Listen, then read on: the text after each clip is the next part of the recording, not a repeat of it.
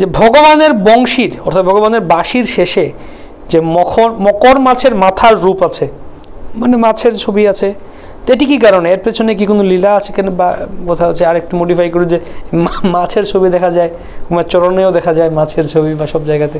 গৌতম আপনাকে, আপনার প্রশ্নের জন্য আপনাকে ধন্যবাদ জানাই। তো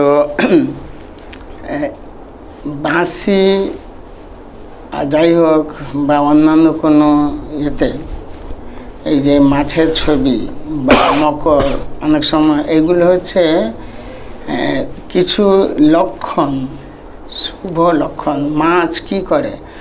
এক জলের মধ্যে সমস্ত জলকে স্বচ্ছ, সুন্দর রাখে মাছ। যত ময়লা আবর্জনা হ্যাঁ মাছ গ্রহণ করে। যে জল যে জলে মাছ থাকে না সেই জল কিন্তু দূষিত হয়ে যায় খুব তাড়াতাড়ি। আর মাছ ছাড়া থাকলে এই জল দূষিত হয় না। এটা আপনি জেনে থাকবেন। তো এর কথা ভগবানের চরণেও এরকম উম, মিনো ছবি চিত্র আছে যা বলা হচ্ছে আমাদের সমস্ত কলুষতা হুম তিনি থেকে আমাদেরকে নির্মূল করেন, আমাদের জীবনটাকে সুন্দর করে তোলেন।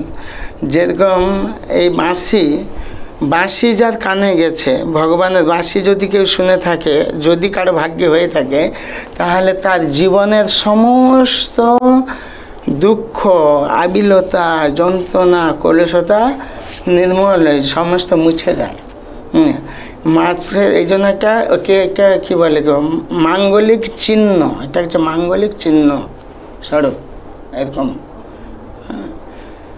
তো আপনি কি ভগবানের বাঁশি শুনেছেন আমার আমি একবার এরকম আমাদের পূজারীদেরকে জিজ্ঞেস করেছিলাম যে আরে এত বাঁশি, এত রকমের বাঁশি মাধবকে দান দেওয়া আছে, আপনি কি কখনো এক পূজারীকে বলছিলাম তখন উনি আমাকে মজা করে বলছিলেন, তুমি, না না, বাঁশি শুনেছি কি না শুনছি, আমি বলব কেন?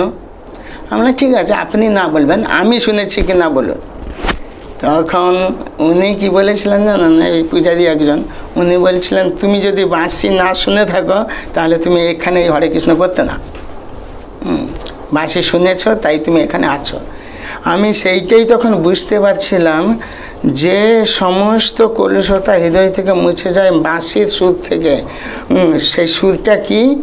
হরে কৃষ্ণ মহামন্ত্র ব্রহ্মা সেই বাঁশির সুর থেকে এই হরে কৃষ্ণ মহামন্ত্র পেয়েছিলেন। তো আর সেই পরম্পরা, এই ব্রহ্মমধ্য গৌড়ীয় পরম্পরা ধারার মাধ্যমে আমাদের গুরু মহারাজের কাছ থেকে আমরা সেই হরে কৃষ্ণ মহামন্ত্রে দীক্ষিত হয়েছে। অতএব সেটা হচ্ছে বাঁশির সুর। কেন? না আমাদের হৃদয় মার্জিত হবে। যেরকম বললাম একটা মাছ সমস্ত জলটাকে উম, কলুষ মুক্ত করে। সেরকম জীবনটাকে সম্পূর্ণ জীবনটাকে কলুষ মুক্ত করবে এই বাঁশির হুম সেই জন্য মাছের যে চিহ্নটা এইভাবে ইঙ্গিত করে থাকে মাত্র।